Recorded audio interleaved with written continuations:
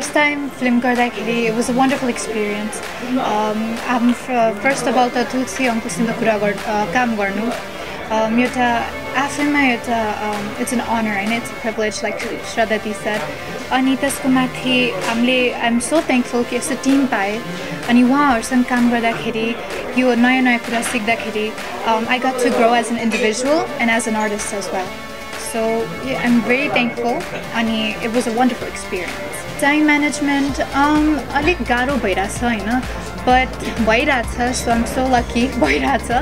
But त्यस्तै हो। Time management गर्छु भनेर हुने कुरा होइन। लाइक आफूले चाहेर फोर्सफुली स्केड्युल मिलाउनु पर्छ त त्यसरी भइरहेछ। बट थ्याङ्कफुली टाइम मिलिरहेको छ एक्चुली सानैदेखि ड्रिम थियो कि म इन्टरटेनमेन्टको इन्डस्ट्रीमा छिरौँ भनेर। अनि एक्चुली मैले एज सबैजनाले प्लेजहरू गर्थेँ होइन स्कुल थिएटरहरू गर्थेँ डान्स गर्थेँ जहाँ अपर्च्युनिटी पायो डान्स गर्थेँ। अनि त्यसरी नै थ्रु द्याट सधैँ इन्ट्रेस्ट बढिरह्यो बढिरह्यो। अनि फाइनली फिल्मको अफर आउँदाखेरि चाहिँ I was like okay this is my place भनेर भएको थियो। मुभीमा मेरो रोल एउटा डान्सरको रोल हो जसले एउटा केटालाई अत्यन्तै मन पराउँछ धेरै मन पराउँछ र उसले चाहिँ उसको लागि जे पनि गर्नु सक्छ अनि उहाँको लागि अति नै पोजेसिभ छ। र यस्तै खालको क्यारेक्टर सर्ट हुन्छ। एकदम धेरै छ। फर्स्ट मुभी भएपछि अभियसली एक्सपेक्टेसन्स हुन्छ। बट फर्स्ट मुभी हुँदा यस्तो ब्यानर पाउँदाखेरि अलिक स्पेसल पनि छ। सो एक्सपेक्टेसन्स चाहिँ अलिक धेरै छ। एकदम राम्रो भयो काम उहाँसित गर्दाखेरि उहाँले फर्स्ट मलाई लागेको थियो कि उहाँसँग अलिक यु नो उहाँ अलिक एक्सपिरियन्स हुनुहुन्छ फिल्डमा पहिल्यैदेखि बसेको हुनुहुन्छ भनेर अलिक डर लागेको थियो उहाँसँग काम गर्नु। बट इभेन्चुली उहाँले मलाई यति सजिलो पारिदिनु भयो काम गर्नुको लागि। मलाई यदि केही सिनमा गाह्रो भएको हुन्थ्यो उहाँले एक्सप्लेन गरिदिनुहुन्थ्यो।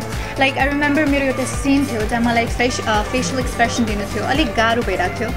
बट उहाँले कति इजिली एक्सप्लेन गरिदिनु भयो मलाई यस्तो गर यस्तो गर भनेर। सो त्यही गर्दाखेरि आई थिङ्क उहाँसँग काम गर्नु एकदमै कम्फर्टेबल र इजी भएको मलाई होपफुली फेरि मुभिजहरू गरौँ भन्ने छ। करेन्टली चाहिँ अहिले स्टडिजलाई फोकस दिन्छु भनिरहेको छु।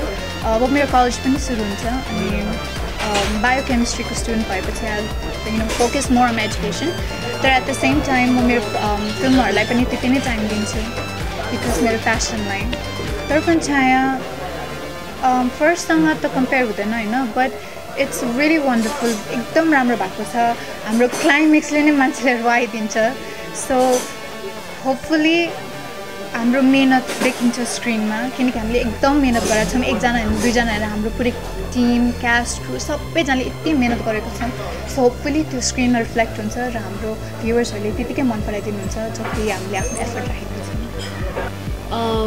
म त सुरुमा चाहिँ I was very nervous but then Tulsi दाईले एकदम धेरै हेल्प गर्छ होइन सो इभेन्चुली राम्रो भयो आई सपोज एकदम इजी पनि लाग्यो with time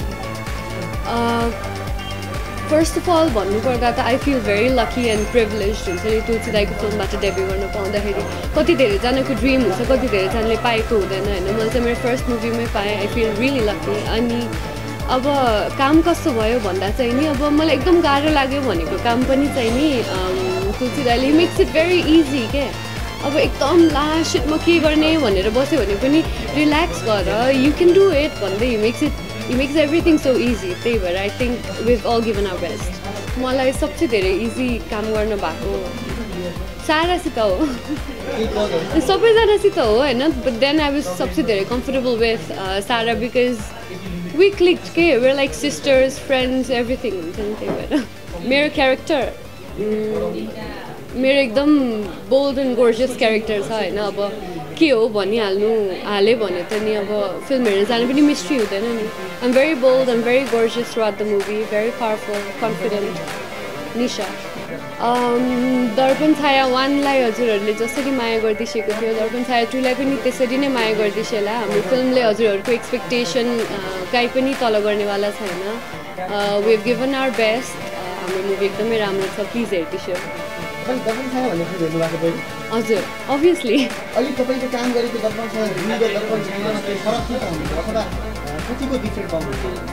अब दर्पण छाया वान भनेको it's something which change the face of Nepali cinema होइन? अनि we we cannot completely compare our movie with Darpan Chhaya too but then as as we share the same title होइन स्टोरीमा के पनि link छैन and as तुलसिदा is claim before that it is not even a sequel but then त्यसमा पनि there were three characters हामीमा पनि we are three characters twist and turns त्यस्तै हो सिमिलर चाहिँ नि तुलसीदाई हो के हाम्रो रुट उस्तै उस्तै त छैन नो नो कम्प्लिटली डिफरेन्ट क्यारेक्टरहरू तिन तिनजना भनेको मात्रै हो यो मुभीमा तिमी नायिका भन्न पाउँदाखेरि नायिका भनेर डेब्यु गर्न पाउँदाखेरि कति खुसी लाग्ने अर्को सङ्घर्ष कति गर्नु परेको थियो नायिका भन्नु अब नायिका बन्नको लागि सङ्घर्ष भन्दा पनि मलाई चाहिँ नि नायिका भन्दा पनि म कलाकार भनेर चिनिन चाहन्छु I want to be known as artist rather than an actor or actress because अब स्ट्रगल त सबैजनाको आफ्नो आफ्नो ठाउँमा भइहाल्छ होइन? अम, अब एक्ट्रेस भएर आइसकेपछि चाहिँ नि एउटा सर्टेन अर्कै आफ्नै खुसी पनि हुन्छ। I want I had taken up acting बच्चैदेखि स्टेजहरूमा ड्रामाहरू गर्थेँ यो त्यो गर्थेँ होइन? अब दर्पण छायामा पनि आई गेस अडिसनै दिएको थिएँ मैले। It was it was hard it's hard to deal with certain things but then yeah it's fine I feel really good I'm happy Darpan Chhaya भन्ने बित्तिकै एउटा ब्रान्डको याद आउँछ हामीलाई पुरानो दर्पण छाया होइन? यसमा मेरो पर्सनल एक्सपिरियन्स चाहिँ कस्तो भयो भन्दाखेरि तुलसी घिमिरे सर एउटा लेजेन्डसँग चाहिँ फर्स्ट मुभी मैले यसरी डेब्यु गर्नु पाएको छु। वन्डरफुल एक्सपिरियन्स भयो त्यो। सायद मैले डिक्सनरीमा पनि भेट्दिनँ होला त्यो शब्दहरू मैले यो आफ्नो एक्सपिरियन्स बताउनलाई। तर एकदमै रमाइलो यात्रा थियो त्यो जर्नी। सायद मेरो लाइफको एउटा सुनौलो यात्रामध्ये पर्नेछ। मेरो भूमिका मुभीमा एकदमै डिसेन्ट गाई छ अनि अलिकति स्मार्टी बन्न खोज्छ अलिकति आफूलाई स्मार्ट सोच्छ। अ, स्मार्ट पनि छ बाई द वे मुभीमा। र मुभीमा हाम्रो लिड एक्ट्रेस साराको चाहिँ बेस्ट फ्रेन्डको क्यारेक्टर पोर्ट्रे गरेको छु मैले यो मुभीमा। र म रियल लाइफमा जस्तो छु या जस्तो फिल गर्छु आफूलाई मुभीमा त्यो क्यारेक्टर एक्ज्याक्टली म्याच गर्यो।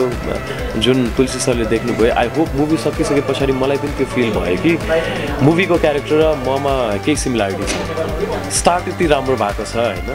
महान पुरुषहरूले भन्नुहुन्छ नि better start is like half done र राम्रो स्टार्ट भनेको चाहिँ नि आधा यात्रा चाहिँ सुरु हो।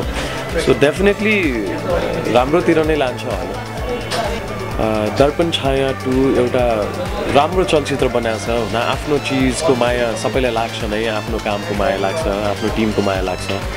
तर एउटा नयाँ टेस्ट छ जस्तो लाग्छ मलाई दर्पण छाया टूमा। दर्पण छाया वान र टूमा आई डोन्ट थिङ्क त्यस्तो केही सिमिलारिटीहरू छ एक्सेप्ट सम म्युजिकल पोर्सन्स किनकि त्यो म्युजिक हामीले टच गराएको छौँ सेन्टिमेन्ट्सको लागि।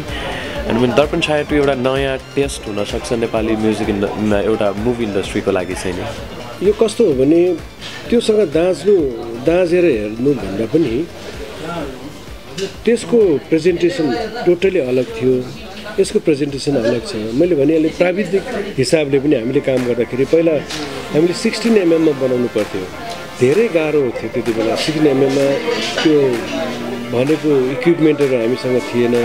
लेटेस्ट मतलब त्यति बेलाको त्यो सिक्सटिन एमएमको क्यामेरा पनि धेरै पुरानो क्यामेरामा हामी काम गर्थ्यौँ। र धेरै बाध्यताहरू थिए। थटहरू भएर मात्रै हुँदैन थियो बाध्यताहरू थिए। बजेटको बाध्यता। तर अहिले के भयो भने क्यामेराहरूदेखि लिएर सम्पूर्ण कुराहरू हाम्रो यहाँ टेक्निकल पार्ट धेरै राम्रो भइसकेको छ। झन्डै पन्ध्र वर्षको अन्तराल भएछ पन्ध्र सोह्र वर्ष। त्यति बेलाको कुराहरू र अहिलेको कुराहरूमा गर्दाखेरि हामीले अहिले लेटेस्ट क्यामेराहरू हामीसँग छ लेटेस्ट टेक्नोलोजीको कुराहरू सबै हामीसँग छ। त्यसो गर्दाखेरि प्रेजेन्टेसन चाहिँ यो फिल्मको डेफिनेटली पहिलाभन्दा राम्रो छ। डेफिनेटली राम्रो छ। राम्रो प्रेजेन्टेड राम्रो यसको क्यामेरा वर्कहरूदेखि लिएर सबै कुरो राम्रो छ। अर्को कुरो त्यो त्यति बेला त्यो ट्रायङ्गल लभ स्टोरी जस्तो थियो। दर्पण छाया ट्रायङ्गल लभ स्टोरी यो चाहिँ हामीले यसलाई फोकस गरेको छ म्युजिकमा त्यो चाहिँ musical emotional musical love story हो यो। अब डेफिनेटली त्यसमा अलिकति रोमान्ट रोमान्स रोमान्टिक त्यो टचेसहरू त छँदै नै छ। तर हामीले टोटल फोकस चाहिँ इमोसन म्युजिकको इमोसन र म्युजिकमाथि नै डिपेन्ड फोकस गरेको छ।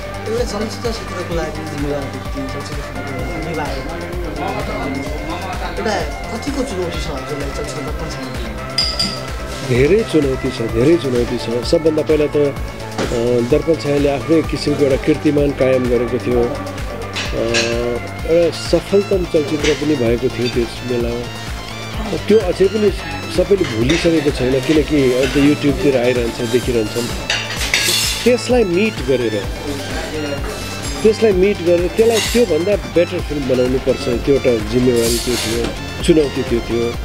अनि अर्को कुरो चाहिँ त्यति बेला अलिकति एक्सपिरियन्स्ड हिरोइन हाम्रो निरुता बहिनी त्यति बेला निरुता थिइन्। उत्तम भाइले पनि मुक्तिमा काम गरिसकेको थिए। दिलीप भाइ पनि अलिकति भिजिसकेको थियो फिल्म लाइनमा। यसपालि चाहिँ हाम्रो पुष्पल भाइ र सारा यिनीहरू एकदम टोटली नयाँ थियो श्रद्धा पनि नयाँ। त्यसले गर्दाखेरि कस्तो भयो भने अलिक पहिला पहिला चाहिँ रिस्क पनि लागेको थियो। तर यिनीहरूले पर्फर्म गर्दै जाँदाखेरि चाहिँ एकदमै अँ, एकदम राम्रो तरिकाले त अभिनय पर्फर्मेन्स वाइज तिनीहरूले एकदम राम्रो गरेको छन्। हामीले जुन जुन तरिकाले जे जे सुट गर्नुपर्छ जति जति पायौँ त्यो हिसाबले राम्रो गरेको छ। त्यसो गरेर समग्रमा टेक्निकली दाँचेर हेर्दाखेरि डेफिनेटली बेटर हुन्छ।